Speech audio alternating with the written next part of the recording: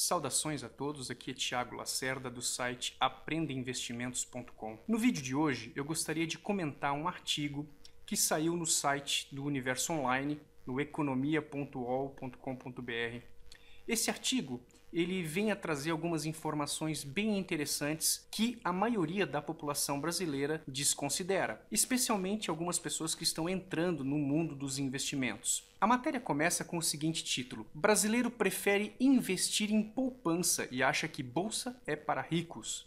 Essa opinião ela veio de uma pesquisa feita em São Paulo que pegou uma, uma amostragem bem grande de brasileiros e perguntou sobre investimentos. Na verdade, tem havido um levante, especialmente por iniciativa da própria Bolsa de Valores e de algumas instituições financeiras, em promover o conhecimento de modalidades de investimento que possam ajudar o brasileiro e também ajudar ao crescimento econômico do Brasil. Na verdade, nós entendemos que a população brasileira ela carece de informação e isso historicamente acontece há muitos e muitos anos. É, eu vou deixar o link dessa reportagem aqui na descrição do vídeo para quem quiser possa pesquisar melhor e ler diretamente no site fonte. Mas eu gostaria de comentar alguns aspectos importantes.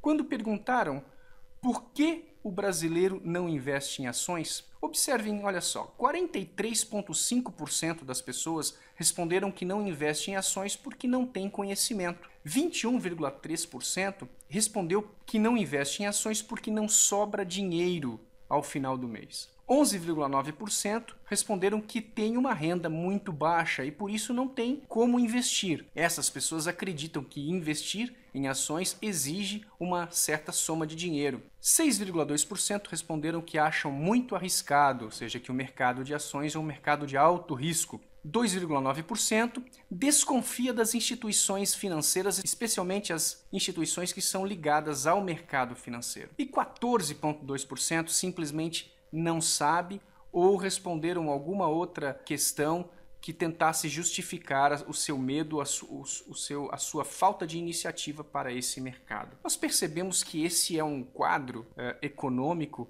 que re, responde muito para nós. É, o brasileiro hoje ele tem medo de perder dinheiro e, por outro lado, ele é muito imediatista. Não existe uma educação financeira fomentada entre a população brasileira tal como é nos Estados Unidos, por exemplo, ou em países da Europa, onde os adolescentes na escola básica já recebem orientações sobre o mercado financeiro. Isso não acontece no Brasil.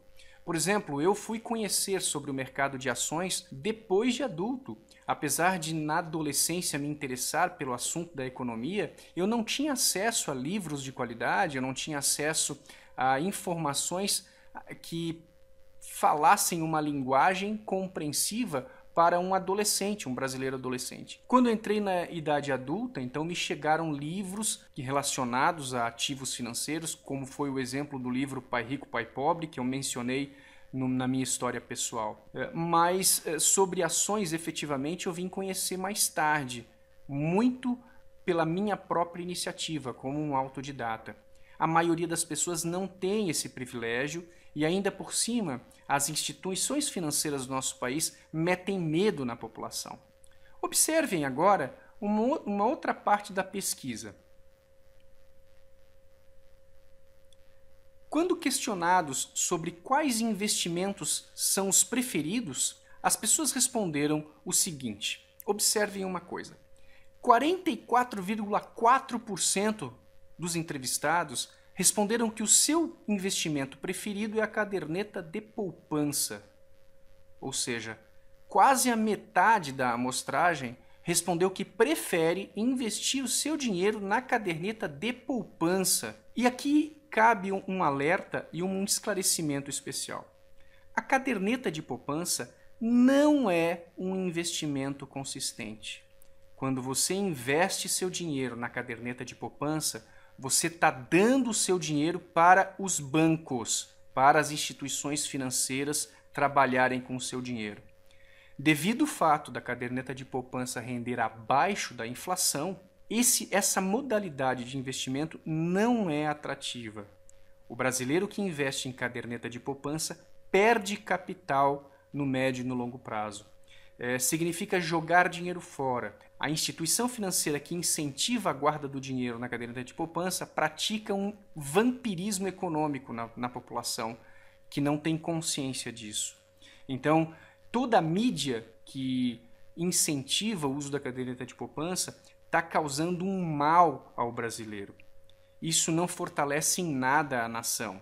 Muito pelo contrário, isso tira a força financeira da população brasileira e joga esse capital na mão dos bancos.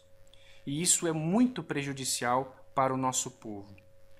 37% dos entrevistados, veja bem, 44% prefere a poupança. 37% dos uh, entrevistados dizem que investem o seu dinheiro, ou seja, o investimento preferido é a própria conta corrente, ou seja, uma falta total de conhecimento do que seja investimento.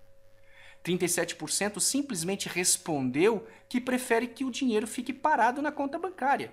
Apesar de que algumas contas bancárias tenham o fator poupança atrelado, alguns bancos fazem isso, é a mesma coisa que investir em poupança. Então, se nós somarmos aqui 44 mais 37%, vamos ver que mais da metade da amostragem não conhece absolutamente nada de modalidades de investimentos consistentes. 3,7% responderam que investem em imóveis. E esses que responderam imóveis são aquelas pessoas que possuem um recurso maior e que compraram talvez um segundo imóvel para alugar. É, essa, é esse tipo de investimento de imóveis que eles estão falando. Aqui não entram fundos de imóveis ou fundos imobiliários, mas sim imóveis tangíveis, imóveis fixos. 3,3% disseram que preferem títulos de capitalização. Títulos de capitalização hoje, pessoal, rende muito abaixo do que a própria caderneta de poupança. Ora, se a caderneta de poupança já não é um investimento consistente, já faz o brasileiro perder capital a médio e longo prazo, imagina os títulos de capitalização. Título de capitalização é um recurso que o banco utiliza para capitalizá-lo. Ele tira dinheiro de você, ele chama de título de capitalização como se você fosse ter um ativo consistente, mas isso é uma mentira. Títulos de capitalização favorecem os bancos. Os sorteios atrelados aos títulos de capitalização saem para uma ou outra pessoa. E isso não é de forma alguma adequada. 1%. 1% dos entrevistados dizem que investem em ações. É minoria absoluta da população brasileira. Isso se deve ao fato de alguns elementos que eu vou citar a seguir. 0,8% investe em CDB, 0,6% em fundos de renda fixa, 0,6% em fundos DI, 0,6% em ouro e 40,8% dos entrevistados não fazem investimento. Senhoras e senhores, eu gostaria de declarar solenemente que investimentos em ações não são investimentos arriscados. O risco atrelado às ações é um risco imediato àquelas pessoas que utilizam o intraday, aos especuladores do mercado. É um risco atrelado àquelas pessoas que praticam compra e venda no curtíssimo prazo, que precificam as ações e não relacionado aos investidores consistentes. Existe uma modalidade de investimento em ações que são investimentos consistentes de longo prazo, em ações defensivas combinado a fundos imobiliários. Essas técnicas nós ensinamos no método chamado Viver de Ações, o método que eu desenvolvi utilizando técnicas de grandes investidores internacionais, técnicas provadas e aprovadas por inúmeros investidores do mundo. É um método que minimiza o risco a zero. Quando você possui os critérios corretos de escolher ações de empresas consistentes e fundos imobiliários lucrativos, e você tem uma perspectiva de médio e longo prazo, e você tem uma perspectiva de crescimento a partir de critérios fundamentalistas, onde você não escolhe empresas que não possuem base sólida ou que sejam vinculadas às oscilações econômicas internacionais, as suas chances de perder a médio e longo prazo são nulas, são praticamente zeradas. Eu gostaria de deixar um convite especial nesse vídeo para que vocês se inscrevam no nosso site, no aprendeinvestimentos.com. Nós estamos disponibilizando diversos materiais gratuitos e informativos e o nosso objetivo é fomentar a cultura do investimento a todas as pessoas. Quebrar com esses mitos e essas lendas que foram criadas no decorrer da nossa história. Enfrentar de frente os mete-medos que a mídia costuma colocar na população, dizendo que há risco onde não existe, dizendo que é mais interessante deixar o dinheiro na poupança. A nossa mídia é toda voltada e dominada pelas instituições financeiras. O nosso governo, ele aquece e fomenta a economia nacional a partir das instituições financeiras, a partir do, do promover o crédito facilitado, o financiamento e as prestações. Investidores consistentes não cometem esses erros. Investidores consistentes aprendem a investir em ativos que consigam blindar o seu patrimônio contra a inflação e lhe garantir um crescimento consistente a médio e longo prazo. Eu vou deixar o link dessa matéria aqui no, na descrição do vídeo. Eu gostaria que vocês curtissem esse vídeo e se inscrevessem em nosso canal aqui no YouTube. Eu estaria à disposição para esclarecer qualquer dúvida que se faça necessário e eu posso garantir que qualquer investidor consistente e que não seja escravo da mídia nem escravo dessas instituições financeiras vão concordar comigo e apoiar o que nós estamos dizendo. Agradeço a todos que assistiram. Um grande abraço e sucesso.